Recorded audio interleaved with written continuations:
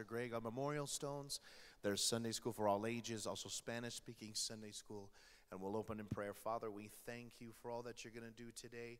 We give you all the praise in advance for what you're going to do. In Jesus' name, amen. Amen. Good morning, and we are going to finish out our series on memorial stones is the last lesson. Got a lot to get through, so listen quickly. Let's begin uh, today's lesson. First issue I want to talk about is the preparation for succession.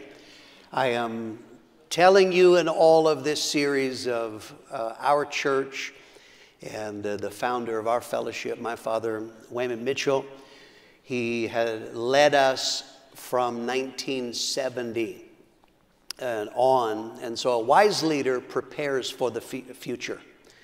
A wise leader is preparing for the day when he will be gone. And so, in order to prepare, a wise leader has to develop a successor, someone who will continue the work once they're gone. Years ago, I had someone ask me, What will I do one day when Pastor Mitchell's gone and he has chosen a successor? And the nature of the question is, of course, because of my relationship with my father, how would I handle when he chose uh, a successor? And my answer was, I will assume that just like Pastor Mitchell heard from God and had wisdom in everything else, that he heard from God and used wisdom in uh, choosing a successor, and I will get behind that choice. Of course, I had no idea at the time that that would be me. I assumed that would be somebody else. Lisa and I went to South Africa in 1997, and uh, I told the last, uh, last lesson, God supernaturally helped us to establish a church there, became a conference center. We built a building, we planted churches. God helped us wonderfully. 2004, we hit the seven year mark of being uh, in South Africa, and I began to feel unsettled, restless. We loved it in South Africa. I, I was not dissatisfied in any way. I had felt this feeling before. I knew that God was preparing us to move on and do something else. I had no direction for that. Talked to Lisa, she agreed. Felt the same. And so, in the absence of uh, direction, we had been seven years in South Africa. We had spent two years before that in Australia. So, we had been nine years away from America. And so we decided it would be best to return to the United States with no direction, just using logic. We only had one church in Miami, Florida at that time. So Lisa and I just kind of roughly agreed let's go pioneer in Miami, Florida. Right after uh, making that decision between ourselves, Robert Polacco, one of the other missionaries, he asked me to go with him to a, a mechanic that was near my house. I went with him. This is a man is a total non-Christian, chain smoking. Uh, he hears our accent and asked us while he's looking at the car, "What are you doing here?" And we told him we're we're preachers. We're here to tell people about Jesus, help people build a work for God. And the man looked directly at me. I don't know if he pointed with his cigarette, but he looked at me and he said, you should be in Turkey. You should go to the nation of Turkey. He didn't say it to Robert. He wasn't talking like in general, they need. No, he said to me, You need to go to Turkey. Robert laughed, like, Ah, yeah, Greg, you need to go to Turkey. Like that was a great joke. I thought that, that was weird that that guy did that. When I got home, I told Lee, You're not going to believe what happened. And the guy looked right at me and he said, You you should be in Turkey. And Lisa's eyes got wide. She said, Greg, this morning when I was praying, God spoke to me and said, We need to go to Turkey. And I said, No. I had no interest in, we'd already been nine years overseas.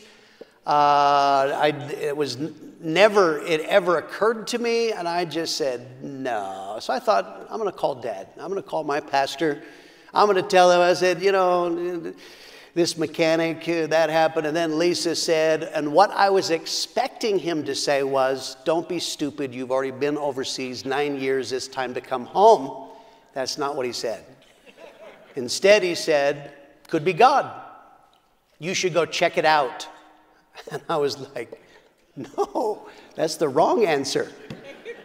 And I, I, struggled. I want to tell you, I did not want to do this. I dutifully booked a ticket to go and scout the land in, uh, in Turkey, to go to numbers of, of cities and look around for the prospects of pioneering. I still remember to this day flying on British Airways from Johannesburg to Istanbul, Turkey.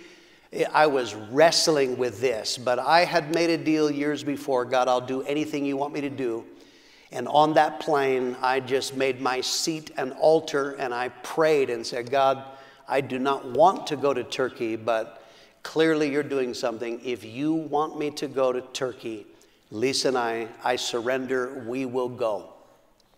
Landed, looked around Istanbul, met a number of people, went to Ankara and a few different places. Near the end of that trip in scouting, I felt God speak to me this is not for you. It could have saved a lot of money and time if you'd have told me that back in Johannesburg. I thought that, that was really weird. Why would God do that supernaturally to get me here? Don't know. Went back, flew back to Johannesburg. It was only weeks, maybe a month later. It was conference. Dad came to conference. And one morning, he said he wanted to talk to me went in the office and he spoke to me about the future. At that time, he said, I'm 75 years old and it's time to prepare for my succession.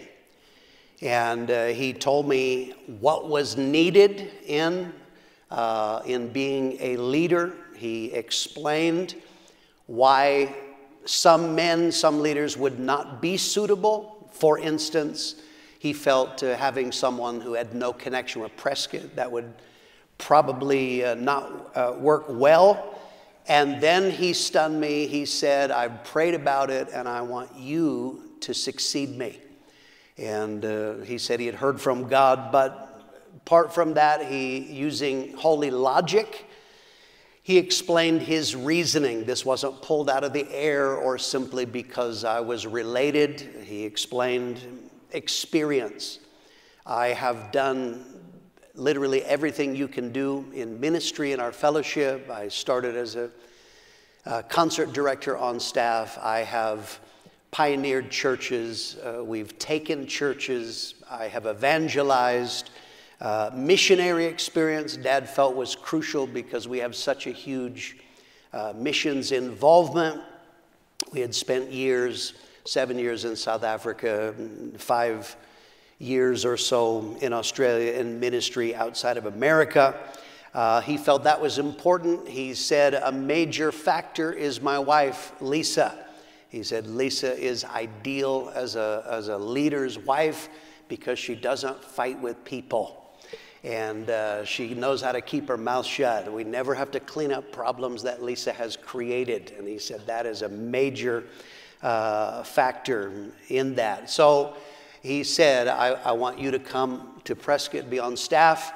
And uh, in, in his mind, he said it will take five years before people accept you as the leader. That was wildly optimistic, but nonetheless, I, I you know, I, I, I, I'm trying to describe to you how stunned I was at this. And I said, okay, I trust you. You're, you hear from God on a level I do not. So, but I said, you know, you have changed your mind before. Uh, of course, I've explained in this series there were other men that he put in place here and didn't work out.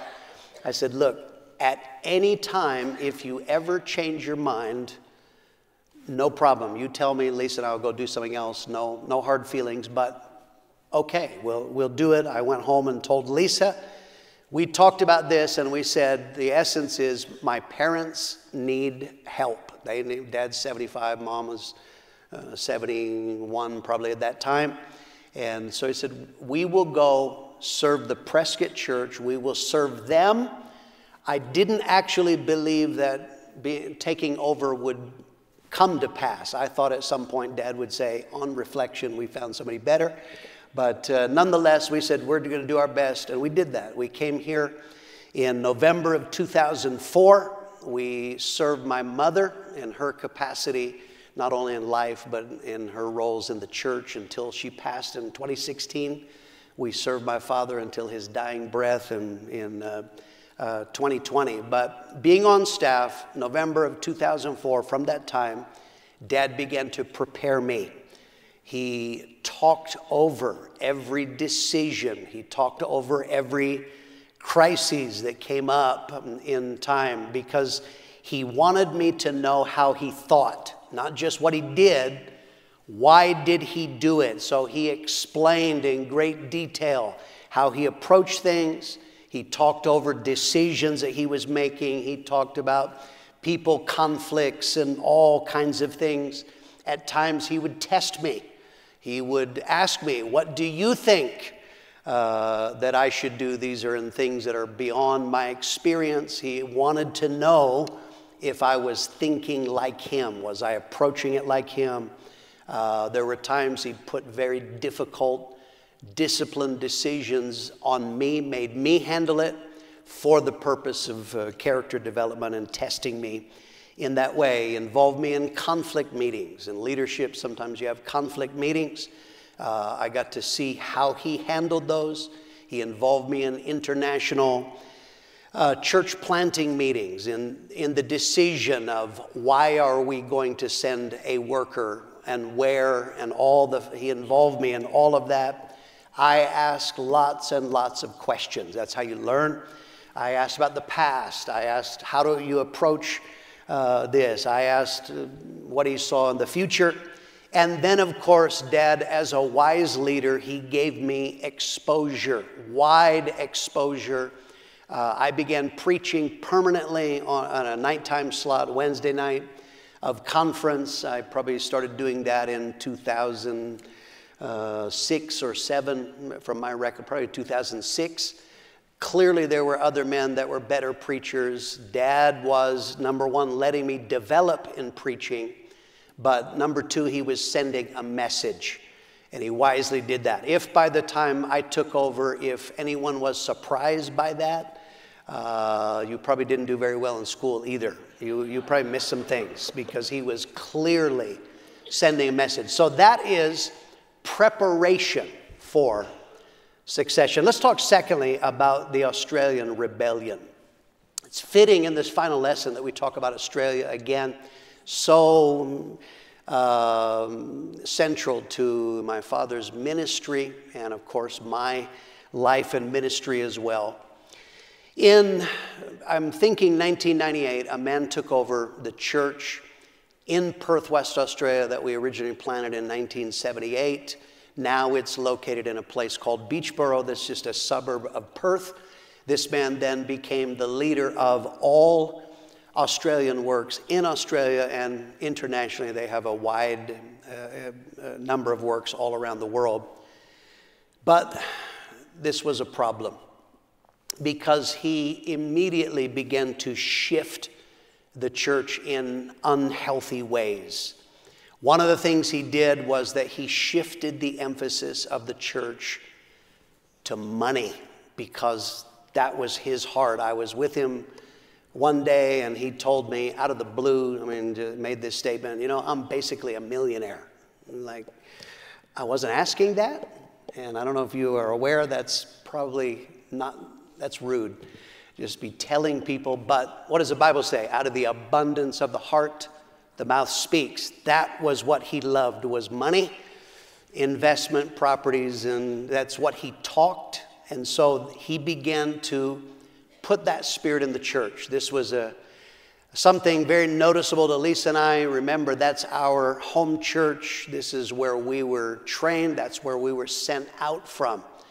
The church in Perth. Now to come, we have family and friends in the church, or we come back for a visit. And to see when we left, it was evangelism, discipleship, doing the will of God. And now you come back and people are talking about money, investment properties, and, and uh, whatever. This man proselyted in a large group of people from another church. They were Romanian Pentecostals, uh, already existing Christians, a large group of them. He uh, proselyted in. They were not like us, but they were numbers, which were important to him he actively would pull on people from other fellowship churches to get them to move there. What happens in leadership is you get people, they contact leaders because there is a conflict with their pastor. There's a problem. They don't understand something, they don't like something, so they call, and it's the job of a leader. What you want to do, ideally, is to fix that problem so they stay in the church. That is not what happened at all. Anybody who called with a problem in your church, very soon they would wind up moving to Perth because he was actively, he had a way of uh, getting these people to, to think that the best plan for their life. And so, what was happening, the numbers are growing, but they're do- proselytes and transplants, it's not conversion. Church planting slowed. Uh, he was planting other people's men. There would be people announced at conference, but they weren't his men. He was planting other people's men. And uh, so while things are changing, Pastor Mitchell was very gracious to this man. He believed the best. My father was not fooled. He knew that there were problems in his spirit. But dad was believing for the best.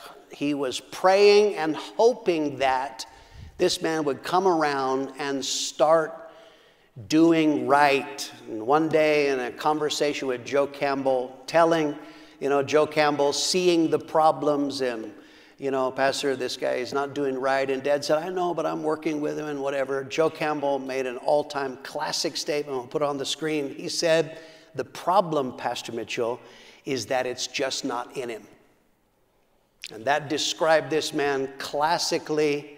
You know, there are people, you can have problems, but if basically the heart of our fellowship and the will of God is in there, you can correct problems. Joe Campbell said, but it's not in him. Working with somebody, if it's not in there, you're not going to fix that. And that was, a, that was prophetic, very, very classic. This man was rebellious he began to speak against Pastor Mitchell, which is what rebels do. They always drop seeds of rebellion. He spoke against the fellowship, and what he was trying to do is in Australia and the churches in the UK and under his uh, area of ministry, he was trying to turn them away from the fellowship. He and his wife lied. Oh my goodness, they lied. Remember the lesson I've repeated several times rebels lie. And this is on, this is on a steroid level of lying. This is 2023 when I'm telling you. This year, it's been 14, 15 years since the man was gone. This year, on a number of occasions, just a few weeks ago, I still to this day have people tell me lies that he said. Uh, like incredibly, lies about Pastor Mitchell that were not true, about uh, American leaders in general, or, or even about me. And uh, uh, the idea of, of doing that was he was trying to put American leadership in a bad light. He was using a strategy of rebellion that often people in other nations use. He was using nationalism People who love their country, they naturally are protective of their country, right? So he was using nationalism. He would drop these seeds, and a, and a mantra that he would repeat was, We have to protect Australia against the day that Pastor Mitchell is gone. Because when Pastor Mitchell is gone, oh, it's all going to go to hell. It's going to get bad. So he was. So we have to protect. It's for the Aussies. We got to protect against the day Pastor Mitchell is gone. There were numbers of conversations that were had with this man by Pastor Mitchell, other leaders. There were numbers of meetings that were held. There were numbers of confrontations that took place. It was. It became very clear this man was heading for rebellion. This was going to end ugly. The point in when a rebel lies, the point when a rebel seeds and tries to turn people, it's because they're planning on leaving. And that became absolutely clear. But, but here's the problem is that you have to, while trying to protect, you have to protect people at the same time. So even though everything within you may want to tell people, listen, he's a dirty dog rebel, you can't do that because you have to have people survive spiritually. If you just come in and say, this guy's a devil, you make everybody suspicious of everything they're doing. The problem is, if he's ever gone, they will just transfer that suspicion to the new guy. So this is a balance. Lisa and I, it was a struggle because we had family. We had to bite our tongue. We never badmouthed or, and uh, openly told family or friends what we actually thought because we were trying to preserve their salvation, and that's what Pastor Mitchell did uh, as well. We reached a tipping point in Australia where it became clear something had to be done. Daryl Elliott came into the church. Uh, he was actually from Geraldton originally. He had been a, a missionary for a number of years in New Zealand. So now he came into the church and he realized that something was wrong. He realized the same thing that I had told Pastor Mitchell when I would go for family visits and would see the church in a regular service now. I said, he, he came to this conclusion. The problem is, it's very different than it is at conference conference, you have everybody there, it's excitement, it's like, woo, we're doing the will of God, but then it's in the regular services. And he said, no, something is changing, it's very unhealthy. Daryl came to, uh, I can't remember if it was when Pastor Mitchell came there for a conference or he came here. He asked Pastor Mitchell, he finally became so troubled, he asked Pastor Mitchell, Is this man who is the leader, is he in right relationship with you? And again, my father was gracious, trying to protect him, preserve. He did not openly just said, nope, he's a dirty dog rebel. But uh, Daryl understood this man is not in right relationship with Pastor Mitchell, so we're in trouble. He began to see that what the man was doing was wrong, and he personally made a decision for our children and for future generations. I am going to have to make a stand. This man called Daryl one day. Daryl would have been one of the older pastors, was uh, so con- attended leadership meetings there in Australia. The man who was a leader called one day. He was mad at another leader and was rallying. He wanted to terminate him, he wanted to remove him. And so he was calling Daryl to get his support so that he could kill the other guy. And Daryl asked him a question. He said, do you mind if I call Pastor Mitchell and ask his opinion? There was silence, and the man said, Well, that depends on what you're going to tell him. And so, but it became clear that for him to call his pastor, the leader's pastor, Pastor Mitchell, to ask for his advice, that would not be perceived well. But Daryl called. Pastor Mitchell happened to be out of town, so he wound up uh, got a hold of me. I was the one, got the message, and I called him back. He asked very direct questions, and so now he was explaining what was troubling him, the things that were happening, and I then began to explain the full perspective of all that had been going on. and uh, in there. And so uh, he wound up having a conversation with this leader and told him directly that he felt he was wrong, not in right relationship. The moment he did that, he began to be targeted uh, by him. Very interesting. In the July 2008 conference here in Prescott, you know, the leaders pray for. When my dad was alive, they prayed for him as the leader of the fellowship every time. That would be the final act of the conference. July of 2008, Pastor Paul Stevens, one of our leaders in our fellowship, Board of Elders member, gave Pastor Mitchell a word and he said, on an international level, in the next six months, God is going to sort out some problems that have been troubling you. That was a powerful word. I want you to see, I'm showing you pictures from my dad's Bible. I want you to show you, there's a fascinating uh, picture. I want you to see here that uh, verse 18, which is underlined, let the lying lips be put to silence, which speak grievous things proudly and contemptuously against the righteous. He put this man's name, Vickery. That is the man's name, David Vickery. August of 2008. I want you to look down at the bottom. The Lord preserves the faithful and plentifully rewarded the proud doer.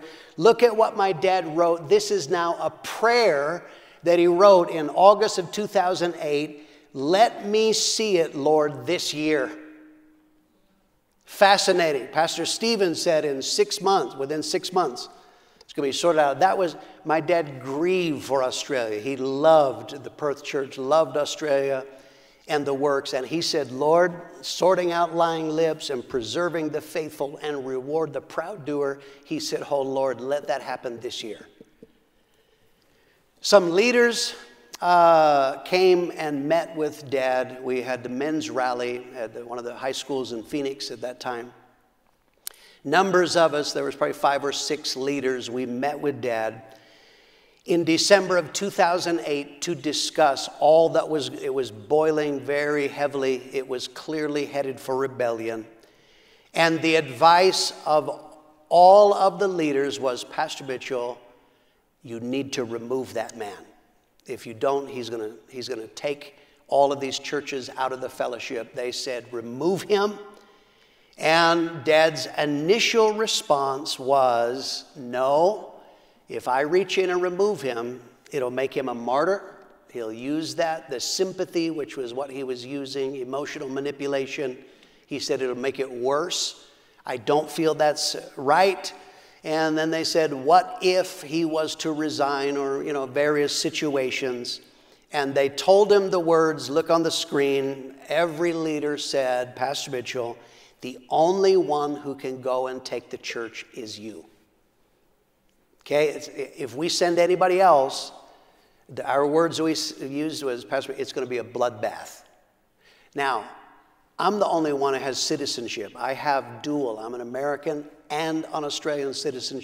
citizen. I, I could have gone, but I said, number one, who's going to help dad? But more than that, even if I go, it will not, it'll be, a, it'll be worse. It'll be a bloodbath. That man has spent years lying, seeding. No. And we said, Dad, you need to go. And this is what Dad said. He said, I am 80 years old. Nelda is 75. He said, I don't think I can do it. I, I just can't. At age 80, going in knowing it's going to be a fight, that was it. It was a, I want to tell you, it was a, for these guys, they can see in the big picture, but it's very personal. This is, this is our family. These are our friends. This is our church. But that was dad said, I don't think I can do it. The board of elders summoned this man. Basically, a summons means we ordered him to come to conference in January of 2009 for a board of elders meeting. We are going to settle this once and for all. And so, knowing that, this man began to make moves. Really, he didn't want to come and sort it out, he wanted to leave. And so he was working on his counsel. He spoke to a man named Don Rollinson. I name him, God bless you, Don. May God bless you, your children, your cats, everything. the blessing of God be on you. because Don Rollinson began to be troubled by this man and finally had begun to ask questions and had gotten uh, information from Pastor Mitchell on the full perspective. One morning after breakfast, now the summons is there. He's being summoned to conference. He called Don Rollinson outside and he said, Don, you know, they've summoned me to leadership meeting. And he said, Where do you stand in this? And Don Rollinson said, if you're not in right relationship with your pastor, you have no right to pastor here and you should resign. And he said, How do I view it? I view it, Pastor Mitchell is a general. You're maybe a colonel. What you should do, you should go to America and sort this out and do what Pastor Mitchell says. That was not the answer he wanted. But that was what he told him. This, this man was an emotional manipulator. He would use sympathy as a weapon uh, to manipulate people to his will. Daryl reminded me of this. He said at some point we were discussing this uh, when there was a conflict.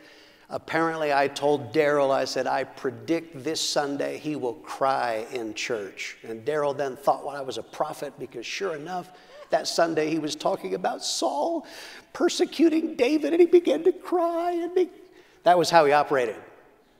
So when Don Rollinson said, No, you need to, you need to sort this out, he called a uh, council meeting. He had a three man council. One was Don Rollinson, who now is clearly seeing what he's about is not into him.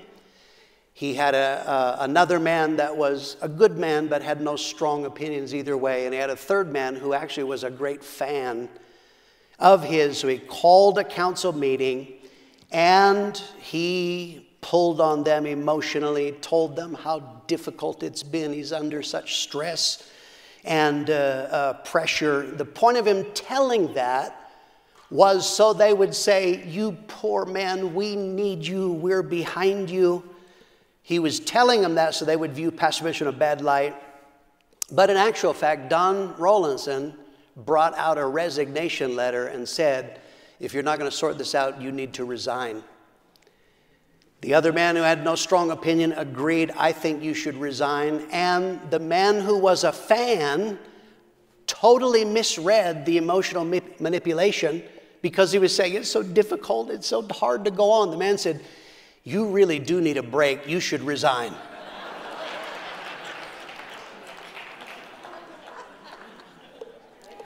the man freaked out. He stepped outside. I got to call my wife. Got on the phone, stepped back out, and he said, I have to go home. My wife's fainted. I don't believe for a second that she fainted, but that was. The moment he left, he obviously called some people, and the council started getting calls from men attacking them. How dare you? do that, but in actual fact, what it did, even the man who was a fan, it firmed their resolve, and they said, No, this is the right thing. He needs to resign. And this is powerful. And the man did it. He signed the letter and he resigned. Let's go back. I want you to look at this. Dad faxed me this. Dad sent me a fax with a, a photocopy from his Bible with that page he said, Greg, can you believe it? Paul Stevens said, within six months, I prayed and said, Lord, this year, and he said, God did it. He resigned.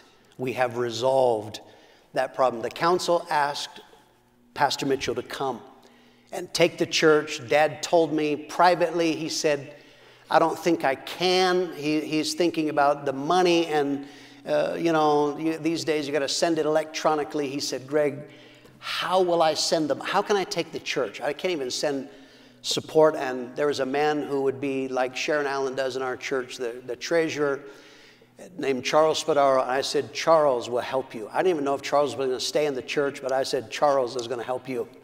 And he did. He was a blessing. This man, uh, Harold Warner, flew to the church when he resigned. He flew in, uh, spent, uh, I think, under a week there met with this man. The man swore, I am not going to start a church. But remember, rebels lie. When he is swearing to Harold that he's not going to start another church, he already had made the booking at the Morley Recreation Center to start his new church. lie, lie, lie. But he did. He started in February. It was by the plan of God. The hall was not available. It gave Pastor Mitchell a few weeks grace to come in, take the church. A few weeks later, he did open a church. He took about 175 people. And I'm sure, much to his surprise, you know, he had boasted to Pastor Mitchell all of the Australian pastors, all of the churches in the UK, they're all with me. They're all behind me.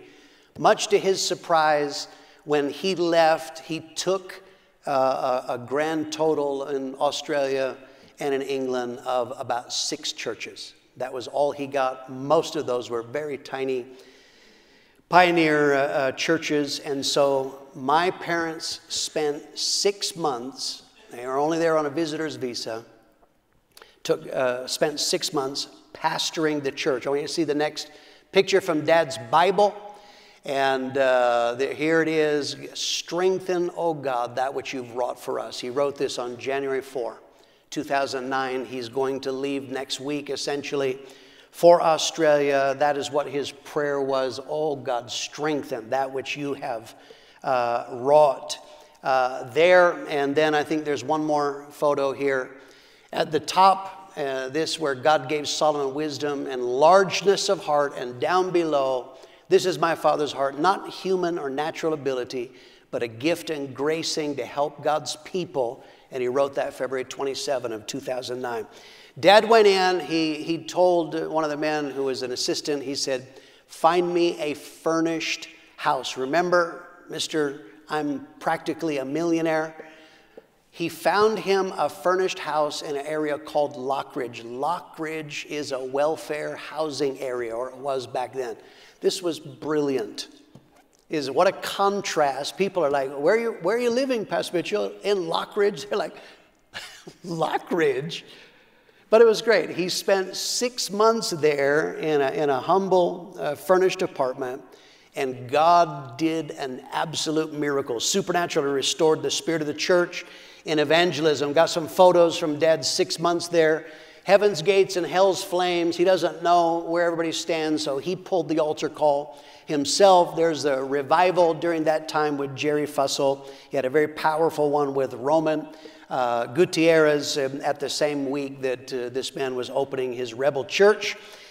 And, uh, but he supernaturally res- restored the spirit of discipleship. When Lisa and I went, men, women, children, dogs, and cats, everybody, chickens wanted to preach the gospel. I mean, it was the spirit. But that was gone. But when Pastor Mitchell came, he restored it. We have some photos. This is a men's discipleship class that he had. And then the next one, he went every morning after prayer. Next photo, this is at McDonald's. They called this Macca's Cathedral or Holy Macca's. He went and he met with men every day. Now they're not talking about investment and money, they're talking about God's will and the Bible and doing the will of God. And you see there two members of my family. There's Steve Zapata, his son Michael. Uh, they, they got back on track and uh, are preaching the gospel today. We're very, very grateful uh, for that. In six months, my father did what would take anybody else years and years to do because of his grace his uh, uh, level of respect, but a miracle of God. He prepared the way after six months, turned the church over to Tom and Janice Payne. And uh, here's Tom and Janice. They went and they rebuilt the foundations. Tom and Janice spent 12 years rebuilding foundations, outreach and evangelism. Here's outreaches. There's Tom and Janice uh, on outreach. You see them. Uh, next photo, park outreaches. Tom began, they never did park outreaches. That, the opinion of this man, he said, they don't work. Well, apparently they do. And so, park outreaches, they did park outreaches, summertime, glorious time of uh, labor there. The Paynes spent 12 years in Perth in 12 years, they wound up restoring the spirit of discipleship, church planting. In their 12 years, they planted 33 couples out into ministry. Thank God. And you see here on the uh, screen, you see that is what began to be restored was church planting. And that is what God did, a miracle. Uh, in 2021, Tom and Janice Payne, they turned the work in Perth and the leadership over to Daryl and Jillian Elliott. Here are the Elliotts. There is their changeover service. The, Tom Payne is laying hands on them. Uh, this is, uh, that's the Elliotts, Daryl and Jillian. Here he's preaching in conference. There is me praying for them in a uh, uh, Aussie conference. Subsequently, I want to tell you the work of God continues. It is a miracle what God has done. As you know, October, I went there. Uh, it, it was on the, to the day, 45 years to the day that Ron and Susie Burrow pioneered and opened up in Perth, West Australia. We have here uh, that couple in the, in the middle, uh, Russell and Sue Plummer. They were saved, came in under Ron Burrow, are still there, a blessing to this day. There's Daryl and Jillian, Lisa and I, and we're about to cut the 45th anniversary cake. I want to tell you, the work of God has gone on. God is in charge of his work. Can you say amen? Thank God for his goodness. Praise God. Let's talk then about succession. I told you about preparation for succession. Let's talk about succession. Here's how smart God is a rebel makes plans to damage the work of God. God actually used the plans of a rebel to accelerate the plan of succession. So, dad has to leave Prescott for six months. While dad was gone, I took over all aspects of pastoring and decision making in the Prescott Church. So, this actually helped us because people saw the church, in fact, didn't fall apart when Pastor Mitchell wasn't here. That's, that's a good message to know that things don't fall apart. In a wider sense, what happened with pastors? Pastors would normally have in their di- very difficult um, problems in the church that they're not sure what to do, they would call Pastor Mitchell but now he's away and there's a 15 hour time difference. Some of them had crisis, they needed to know what to do right now. You can wait 15 hours or 10 hours or however many hours until you can speak to Pastor Mitchell. But what it did is some of them wound up calling me. And I was able to give advice, and then they saw if they took my advice and it worked out well, that actually really, really helped but that came about because the rebel was uh, trying to destroy. Dad made a comment, I think we'll have it on the screen. He said this over and over again. He would tell people, When I left for Australia, I handed the reins to Greg and I never took them back. When he came back to Prescott, he did not take back over all of the aspects and church planting and uh, many, many of the things. I was able, Lisa and I were able to make my father's final years of ministry enjoyable. By me taking all of the responsibility, we were able to uh, allow dad to travel and preach without pressure and without responsibility. When people would call and there were problems, he said, Talk to Greg.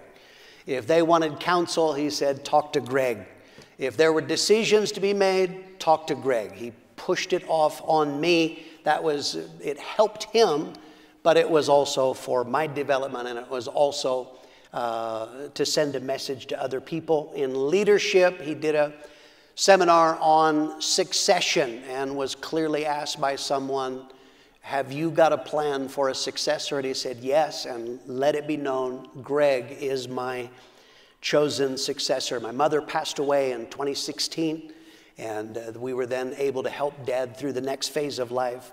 Uh, Lisa and I I came up with a plan. We had been uh, meeting in a tent for many years for conference. I came up with a plan for building a building that would house conference, but I came up with a way that we could use it in regular time as well. Dad gave his backing to it, and we built this building here. The angels are singing right there. Come on. God bless you, Randy. Randy Wowen gave me that photo. That is a fantastic photo.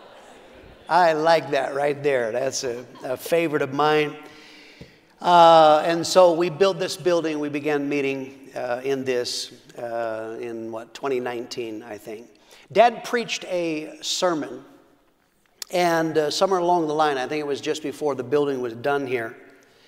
In the sermon, he told a story of history when General George Patton asked his mentor, General John Pershing, to bless him. He was entering into a very large role, and he came to General Pershing and he said, Would you bless me? And he had him kneel down, laid hands on him, and blessed him. When dad said that, I said, That's what I need. One morning after breakfast, I asked dad, took him in the office, I said, I need that. Would you pray for me and bless me? I want, you're imparting your spirit by words and actions and example, but I want you to pray deliberately. He did that, laid hands on me. That was private. There was no one around to uh, see that because I need the Spirit of God and I need my Father's Spirit as well. Around about this time, another rebel, there are always rebels, another rebel in New Zealand was mouthing this is a common line that rebels were using the fellowship will fall apart when Pastor Mitchell dies. When Dad heard that, it ticked him off. So he preached a sermon, knowing this is how people think. He preached a sermon. Maybe some of you remember it. It's on YouTube somewhere. And that sermon is called When Pastor Mitchell is Gone. And at the end of the sermon, he publicly laid hands on Lisa and I. We have a photo uh, of this. This is what he's doing. He was now letting the world know of his choice and uh, that was partly so people would know, but he was publicly imparting his spirit upon Lisa and I. Dad preached his last sermon in April of 2020. He was having problems that we knew, didn't know what was wrong.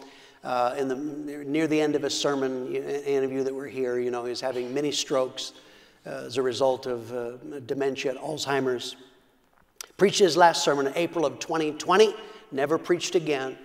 And then we guided him through. Uh, um, John and Aaron Myola moved in with him. God bless them. They helped Stephen and Emily Cassio and Jesse and Beth Morales. We all banded together.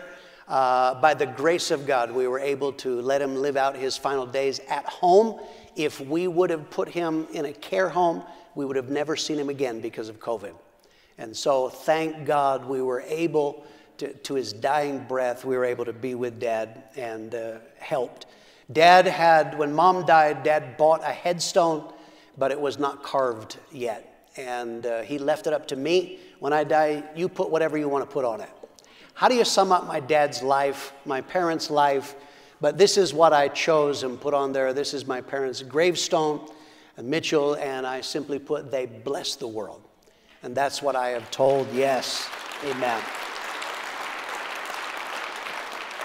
And in all the memorial stones, we thank God. My father heard from God, lived a life of integrity, and handed off a great blessing to us. Now, because my father is gone, I am, wherever I go, I'm introduced as the leader of the fellowship. And I do think that people who don't understand probably have a wrong idea what that means. They, they are assuming being the leader of the fellowship is a position of power. I think people have the idea that being a leader is I have banks of phones I'm answering, like, yes, no, off with their head, because this is a power position. But that's not. Listen, put it on the screen. Being a leader is not a position of power, it's a place of service.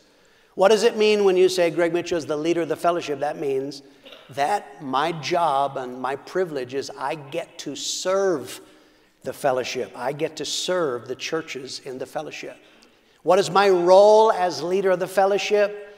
My job is to maintain the course. I'm telling you where we came from. My job is to make sure we never leave the memorial stones. There will never come a time where you're going to say, "Yeah, we used to do, we don't do that anymore."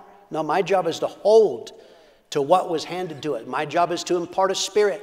You know that I travel extensively. What I'm doing Partly I preach to impart a spirit, but everywhere I go, Lisa hates going, she won't travel with me because she says, You're up at six in the morning meeting with people to answer questions. That is what I do. I answer questions, I give people access to me so that they can ask anything they want, so that they get clear sense of our fellowship. My job is imparting reference points. I give reference points through teaching. In uh, my Sunday schools are used all over the world, and, and I'm able to bless. I'm able to provide advice and counsel on difficult situations. I'm able to direct financial resources to God's purposes. My job is to foresee dangers and uh, deal with uh, uh, doctrinal dangers, sidetracks. I do not want us to get sidetracked. My job is to see it. Uh, it's, it's dangerous for us. We're not going to go down that road, avoid them, deal with them.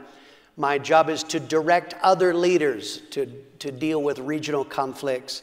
Sometimes I have to personally get involved in conflicts, but overall, I'm telling you what my role is because any of you here, any of you that are watching online, please, I covet your prayers. That is what I want more than anything else. If you ever want to bless us at Christmas, pray for us. That's what I need.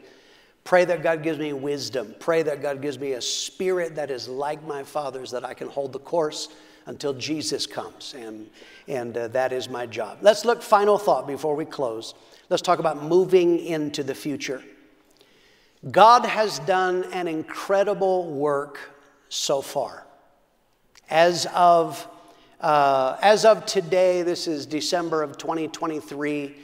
Uh, from the top of my head, uh, we have 3,628 churches today.